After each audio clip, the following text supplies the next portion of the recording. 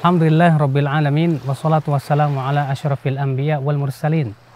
Nabina Muhammadin wa alihi wa sahbihi wa man tabi'ahum bi ihsanin ila yaumiddin. Asyhadu an la ilaha illallah wahdahu la syarikalah wa asyhadu anna Muhammadan abdu wa rasuluh amma ba'd. Akhul Islam a'azakumullah Mengenal Allah adalah merupakan perkara yang paling wajib bagi seorang hamba Bahkan seseorang hamba tidak akan merasakan kebahagiaan yang hakiki kecuali dengan mengenal Allah Subhanahu wa taala. Al-Imam Ibnu Qayyim rahimahullah berkata, "Inna fid, fid dunya jannah." Di dunia ini ada surga. Man lam yadkhulha lam yadkhul jannatal akhirah. Siapa yang tidak memasukinya maka ia tidak akan memasuki surga akhirat. Apa itu surga dunia? Siapa yang bisa memasuki surga dunia, dia akan bisa memasuki surga akhirat. Dia adalah mengenal Allah Subhanahu wa taala. Kelezatan mencintai Allah. Kelezatan mengenal Allah. Ya. Kata Al-Iz bin Abdus Salam, kebutuhan hamba untuk mengenal Allah melebihi kebutuhan ia dari makan dan minumnya. Manusia butuh untuk hidupnya dengan berupa apa? Makanan dan minumnya. Tapi kehidupan hati itu yang paling penting dan lebih penting lagi. Hati tidak akan hidup kecuali dengan mengenal Allah penciptanya. Lalu bagaimana kita bisa mengenal Allah Subhanahu wa taala? Allah memperkenalkan dirinya di dalam Al-Quran. Rasulullah memperkenalkan tentang Allah dalam hadis. Dan Allah pun memperkenalkan dirinya dalam penciptaan-penciptaannya. Lihatlah pemandangan alam ini. Pemandangan alam ini menunjukkan akan sifat-sifat penciptanya. Terlihat alam ini begitu indah. Sejuk dipandang mata, Terasa nikmat ketika kita berada di sebuah pemandangan yang sangat indah sekali. Dan subhanallah, itu menunjukkan akan sifat penciptanya. Apa itu? Al-Jamil, Allah yang maha indah. Keindahan Allah terlihat dari ciptaannya. Ombak, demikian pula lautan-lautan. Demikian pula akal Islam bunga-bunga yang sangat indah dan enak dipandang mata. Menunjukkan bahwasanya sifat penciptanya adalah Allah yang maha indah. Dan ini memberikan kepada kita keyakinan bahwasanya kalau Allah maha indah dan ciptaannya begitu indah, maka zatnya sangat indah. Bukankah di dalam surga nanti kaum mukminin akan melihat wajah Allah yang sangat indah? Iya, disebutkan dalam hadis Nabi SAW bahwa Allah Ta'ala akan berfirman kepada penduduk surga. Wahai ya ahlal jannah hal azidukum min syai. Wahai penduduk surga, maukah aku tambahkan kamu sesuatu? Kata penduduk surga, Ya Rob, alam tubayyid wujuhana. Alam tudkhilnal jannah. Ya Allah, bukankah engkau telah memutihkan wajah kami? Bukankah engkau telah memasukkan kami ke dalam surga? Kemudian Allah Allah, Allah Subhanahu wa taala membuka wajahnya. Fama utu syai'an dan mereka tidak diberikan sesuatu kenikmatan yang lebih nikmat daripada melihat dan memandang wajah Allah. Ya, wajah Allah sangat indah. Maka tentunya ya akal Islam syariat Allah pun sangat indah sekali.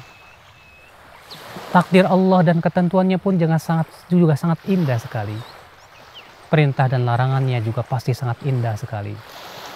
Keindahan yang Allah Subhanahu wa taala miliki yang hanya bisa dirasakan oleh orang yang mau mengenalnya. Mengenal nama-nama dan sifatnya.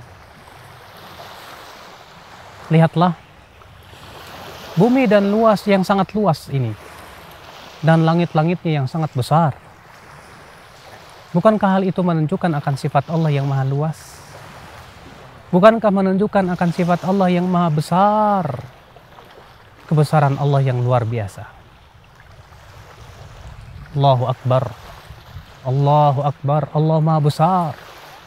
Yang disebutkan dalam hadis tidaklah tujuh bumi dan tujuh langit dibandingkan dengan kursi Allah kecuali seperti cincin dibandingkan dengan tanah lapang. Dan tidaklah kursi Allah yang sangat luas itu dibandingkan dengan arasnya kecuali seperti apa? Seperti cincin dibandingkan dengan tanah lapang lagi. Maha besar Allah. Kebesaran Allah yang luar biasa terlihat dari ciptaan-ciptaannya. Lihatlah bagaimana Allah memberikan rezeki kepada ikan-ikan. Allah Subhanahu wa taala menciptakan oksigen untuk kehidupan. Allah menciptakan air untuk kebutuhan manusia. Berbagai macam kebutuhan ada. Allah hembuskan angin untuk kemaslahatan siapa? Manusia dan alam semesta. Semua itu ya akal Islam menunjukkan akan sifat Allah Ar-Rahman yang maha penyayang, yang maha pengasih kepada hambanya. Kasih sayang Allah yang luar biasa yang dirasakan oleh setiap manusia, bahkan setiap hamba merasakan akan kasih sayang Allah Subhanahu wa taala. Berapa banyak nikmat yang kita rasakan setiap detiknya, setiap menitnya. Air yang kita minum udara dan oksigen yang kita hirup. Bukankah itu menunjukkan akan kasih sayang Allah Subhanahu wa taala? Allah ciptakan tumbuhan. Dengan tumbuhan itu manusia bisa merasakan oksigennya. Dengan tumbuhan itu manusia bisa merasakan berbagai berbagai macam kenikmatannya. Allah ciptakan demikian pula binatang-binatangnya. Untuk keperluan siapa? Manusia. Bukankah Allah sayang kepada manusia? Iya. Subhanallah. Bila kita melihat pemandangan alam ini, akan terlihat sifat pencipta alam. Akhal Islam azakumullah. Oleh karena itulah Al-Quran memerintahkan kita untuk senantiasa memikirkan penciptaan langit dan bumi. Allah berfirman, Inna fi khalqis samawati wal ard wa ikhtilafil laili wan nahar la ayatin li ulil albab. Alladzina yadhkuruna Allah qiyama وقعودا وعلى جنوبهم ويتفكرون في خلق السماوات والأرض ربنا ما خلقت هذا باطلا Subhanaka faqina azaban nar. Sesungguhnya dalam penciptaan langit dan bumi dan pergantian siang dan malam terdapat tanda-tanda kebesaran bagi orang-orang yang berpikir kata Allah. Siapa dia? Yaitu orang-orang yang senantiasa mengingat Allah ketika ia berdiri, ketika ia duduk, dan ketika ia berbaring dan memikirkan tentang penciptaan langit dan bumi Lalu ia mengucapkan, wahai Rob kami, tidaklah engkau ciptakan semua ini sia-sia. Maha suci engkau, maka peliharalah kami dari azab api neraka. Inilah ya akal Islam yang diperintahkan oleh Allah kepada kita. Memikirkan tentang ciptaan-ciptaannya untuk mengenal Allah Subhanahu wa taala sehingga tumbuh rasa cinta kita kepada Allah. Tumbuh, tumbuh rasa takut kita kepada Allah. Tumbuh rasa berharap kita kepada Allah. Sehingga kita menjadi hamba-hamba yang senantiasa mau menjalankan perintahnya. Semoga ini bisa mengajak kita untuk merenungi semua ini. Aku lu qouli hadza subhanakallah bihamdik asyhadu an la ilaha illa anta astaghfiruka wa. Wassalamualaikum warahmatullahi wabarakatuh.